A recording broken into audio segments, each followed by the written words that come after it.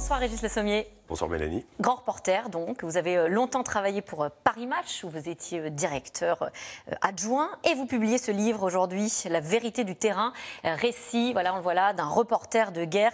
C'est aux éditions Bouquin, 20 ans de, grands événements qui ont fait basculer notre siècle. Pour vous définir, Régis Le Sommier, on pourrait dire que vous avez la, la bougeotte, d'ailleurs c'est pas que moi qui le dis puisque vous vous dites vous-même, j'ai la phobie de l'immobilisme, la pathologie de l'inaction. Ça va mieux aujourd'hui? Vous êtes moins malade? Oui, je suis moins malade. Non, mais j'ai toujours cette. Euh, vous savez, c'est un peu un, mal. C'est une drogue dure. Hein. C'est une drogue dure. C'est-à-dire qu'on part, euh, on revient. Il y a toujours ce mouvement de balancier dans nos vies. Euh, je dis aussi qu'on me. En, fait, je, je, remercie beaucoup les gens qui m'ont qui m'ont attendu dans mon univers et ceux qui m'ont accueilli dans le, dans le leur.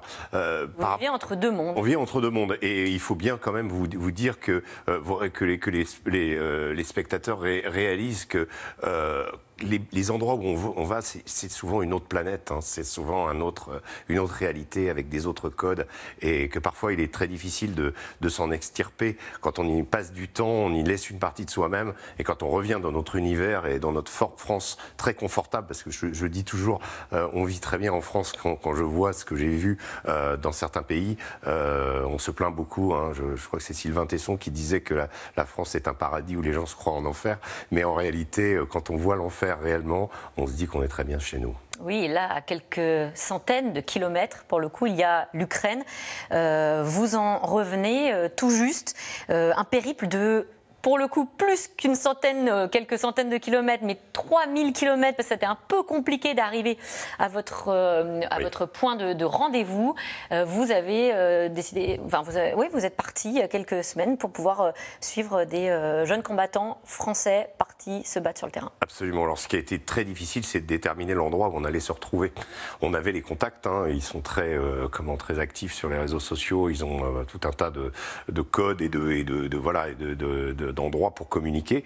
Et on communiquait avec eux. Parfois, il y en avait un qui combattait, donc parfois il était euh, pendant une semaine euh, indisponible. Et puis parfois, on pouvait euh, dialoguer avec lui. Et on a longtemps, il a combattu sur le front de Mykolaïev, donc c'est là du côté de Kherson, donc dans le front sud. Et on s'est dit, Odessa, ça peut être un endroit où on peut se retrouver. Seulement, le problème, c'est qu'on est, on est arrivé à Bucarest, et puis la frontière vers Odessa, normalement, ça devait faire 300-400 km, a été bombardée. Il y a eu un, comment le train a été interrompu interrompu, euh, on ne pouvait plus passer, cette frontière-là été fermée. Du coup, on a fait tout le tour de la Moldavie euh, par le nord euh, de, la Roumanie. Et là, ça a été aussi un peu chaotique parce que notre chauffeur avait décidé, contre vent et marée, de continuer à, rouler de nuit. Et on, Ce qui ne se fait pas habituellement, bah c'est ça Quand on est dans un pays en guerre, il faut, voilà, c'est le béaba, on roule pas de nuit. On peut, voilà, évidemment, on attire. Parce que c'est beaucoup plus dangereux, on attire l'attention. Voilà, et là, on s'est fait arrêter par, donc moi, je me souviens de, de, de ce, moment où euh, comment on, on, somnolait à l'arrière, et tout à coup je vois une la voiture ralentit et je vois une Kalachnikov d'un côté, une autre de l'autre, etc. Et les soldats ukrainiens nous disent euh, vous n'avancez plus, vous vous mettez dans la forêt. On a dormi dans, dans cette forêt, euh, voilà, à quatre dans la voiture et on est reparti au petit matin. Et donc vous rencontrez, in fine, ces volontaires français qui arrivent un peu au même moment que nous à, Odessa. On va partager leur vie, on va être dans des, comment, dans des auberges de jeunesse des quais de gare. Qu'est-ce qui fait qu'ils se retrouvent à vouloir combattre en Ukraine, dans un pays où très souvent ils n'ont pas de lien, non, il pas le leur. Ils parlent pas du tout la langue. Ils ne parlent pas la langue. D'ailleurs, les Ukrainiens sont très peu polyglottes, euh, donc si vous ne parlez pas le russe ou l'ukrainien, c'est très difficile de, communiquer. Euh, non, ils, se retrouvent parce qu'ils ont cette espèce de, Alors, certains euh, sont idéalistes hein, et ils ont combattu déjà au Rojava avec les Kurdes. les trois que nous avons suivis, deux d'entre eux se sont connus au Kurdistan irakien et ils ont Daesh. Ils ont combattu Daesh euh, voilà, ensemble et ils se retrouvent parce qu'ils estiment que la cause ukrainienne pour eux est une cause juste et euh, donc il faut, euh, ils peuvent, voilà, ils sont prêts à donner leur sang pour la nation ukrainienne. On voit que c'est assez compliqué parce qu'en même temps, vous décrivez des jours d'errance où ils savent pas trop comment se faire enrôler et puis une fois qu'ils ils arrivent à repérer là où se passent les, les, retrouvailles de tous ceux qui viennent combattre. Le centre de recrutement. Le centre de recrutement euh, ils se rendent compte qu'ils vont être de la chair à canon. Bah, ils vont être, c'est-à-dire qu'en fait, on se rend compte, on a nous euh, un échange assez vif avec un comment un, instructeur américain. Donc déjà, euh, voilà, on découvre que ce sont les Américains parce qu'il nous dit, il nous prend nous, journalistes français, on est avec le groupe, il s'imagine qu'on est des combattants, nous aussi. Donc il va nous parler comme à des combattants. Et il nous dit, ici c'est moi qui donne les ordres. Vous avez des puces internationales, des cartes SIM vous les enlevez dans vos téléphones, on vous donnera des cartes SIM locales. Très dangereux, attention, etc. Il nous donne les instructions. Et on se rend compte que, bon, euh, euh un moment, on dit, mais euh, comment on va combattre avec les Ukrainiens? Non, on lui dit pas tout de suite. Euh, on lui dit, on dit, comment Mais il y a des Ukrainiens, il me dit, non, non, non, non. Moi, je suis là pour faire en sorte que les volontaires internationaux soit euh, que ce soit des vrais combattants, d'abord des gens avec des expériences militaires. On ne veut plus des individus louches, on ne veut plus des individus qui n'ont rien à faire en Ukraine. Je suis là pour ça, c'est moi qui encadre les Ukrainiens. Euh, voilà, je travaille pour les Ukrainiens. Mais si vous voulez, on se rend compte que vraiment, c'est euh, les, ce sont les États-Unis qui, dans, de ce point de vue-là, hein, je ne dis pas que c'est eux qui, qui ont la main, la guerre, mais qui ont la main sur le recrutement de ces volontaires.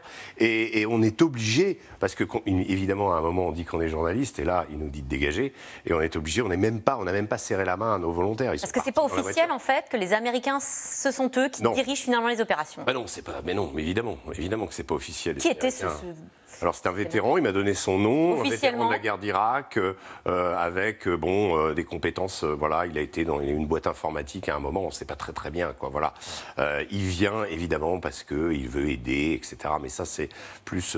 je sais qu'on va parler des espions un peu plus tard.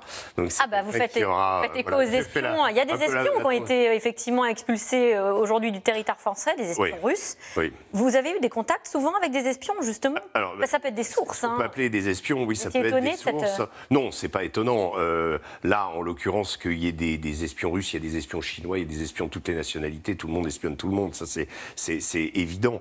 Euh, maintenant, sur un terrain de guerre, euh, il y a des gens qui, oui, ont des, rôles, on se rend compte, bon, qui peuvent vous apporter des, informations intéressantes et puis qui en Ça vous est arrivé? Ça se passe comment Vous avez déjà été approché Non, on n'est pas. On, est approché, c'est-à-dire qu'en fait, on a des contacts. Euh, voilà, on, est, on, a des contacts, et puis on a une personne qui, qui vous donne une, une, information, qui vous euh, euh, et puis qui en espère une de votre part. Mais, mais ça se fait de façon totalement informelle. Ça se passe dans un hôtel, un hall d'hôtel. oui. Le bureau des légendes, ce qu'on a en tête, c'est complètement. Non, mais par exemple, comme je m'en souviens, qui était un petit peu caricatural, avec qui j'avais noué la, conversation à, à Kaboul, à l'hôtel Serena. Euh, un Allemand qui était venu me raconter euh, sa passion pour l'Afghanistan. On était en plein milieu euh, des offensives dans le sud et on attendait, nous, pour partir avec l'armée américaine. Et on se retrouve avec ce personnage et ce personnage, je lui dis, mais quel est votre métier? Il me dit géographe. Oh, géographe au milieu de l'Afghanistan. Je veux bien que la, géographie de l'Afghanistan est passionnante, mais si vous voulez, c'est un peu léger pour expliquer la C'est donnant-donnant, il vous donne une info, vous en donnez... Même pas, même pas forcément, il cherche à justement plutôt nouer contact. Vous avez travaillé pour la chaîne de télévision russe en France, RT France, euh, qui a été ensuite interdite il y a quelques semaines après mmh. l'invasion de l'Ukraine, euh, accusée de faire de la désinformation par l'Europe euh, notamment. Est-ce que votre reportage, pour le coup, sur le terrain en Ukraine a changé votre regard sur ce conflit? Vous voulez dire que j'ai plus de, ressentiment vis-à-vis de la Russie par rapport à ce, ce que je pouvais faire? Non, j'ai travaillé pour RT, en effet. j'ai fait quatre gros sujets pour RT. J'ai couvert les élections allemandes qui ont été qui étaient qui étaient passionnantes. J'ai fait un documentaire sur Mayotte. Euh, j'ai travaillé un petit peu au... Oui, en fait, on m'a jamais demandé, on m'a jamais dit, euh, faut que tu récites euh, ce qu'a dit Sergei Lavrov ou ce qu'a dit le Kremlin aujourd'hui. Non, ça n'a jamais été le cas. bon, après, c'était un média d'influence, en effet, comme il y en a eu d'autres personne ne pouvait prévoir cette guerre et ce qui se passerait vis-à-vis de la Russie. Euh, j'ai eu du mal. Ce qui m'a vraiment, vraiment, vraiment fait mal pour pour l'Ukraine, c'est de voir que des, frères slaves qui sont quasiment très proches euh, arrivent à, enfin, on arrive aujourd'hui à, s'entretuer euh, dans une guerre qui est quand même assez épouvantable. La vérité du terrain, récit d'un reporter de guerre. Merci Régis Le Sommier, c'est aux éditions Bouquin. Tout de suite, c'est dans l'air avec Caroline Roux. Bonne émission à vous.